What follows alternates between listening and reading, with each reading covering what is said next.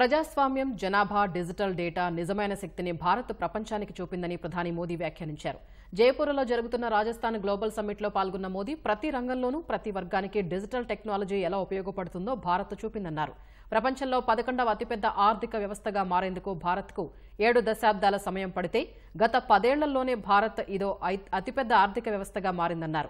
దేశంలో ఇంటర్నెట్ వినియోగదారులు నాలుగు రెట్లు పెరిగారని డిజిటల్ లావాదేవీల్లో కొత్త రికార్డులు నమోదవుతున్నాయని అన్నారు. సంస్కరణ పనితీరు పరివర్తన అనే మంత్రాన్ని అనుసరించే అభివృద్ధి ప్రతి రంగంలోనూ కనిపిస్తోందన్నారు